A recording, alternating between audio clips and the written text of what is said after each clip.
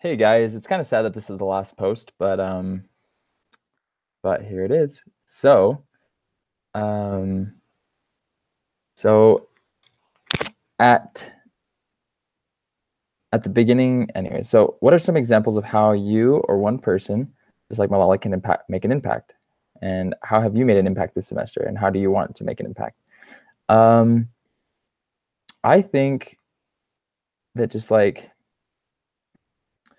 I don't know. I can't really say I made a huge impact this semester. I've kind of been cooped up um, where I've been living, doing my off track, um, just working a ton. But I guess like I make an impact by tutoring. That's what I do um, for work. And so hopefully teaching people to enjoy and love the topics that they're learning. Um, I think it's amazing that people like Malala exist. Um, somebody who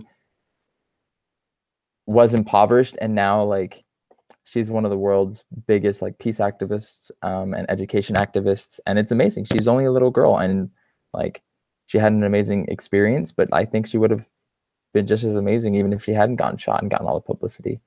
Um, and so i wish i could make an impact by just being able to have more of a reach. Um, rexburg's kind of a small place so if i was able to i'd like to reach out more um, and uh, that's what I would like to do.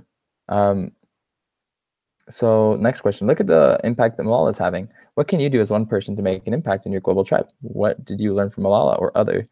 And how does this apply to yourself? Well, I do not want to get shot in the face as um as effective as that would be.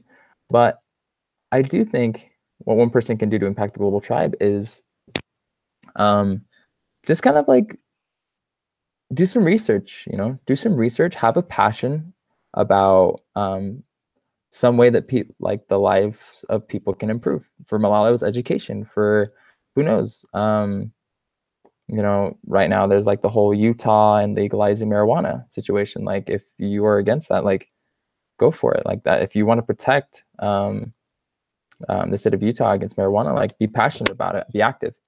Um, and it can in fact it, it, can, it can impact the global tribe so what I learned about from Malala is just never give up. Just keep trying. Just like you got to be as stubborn as a bull.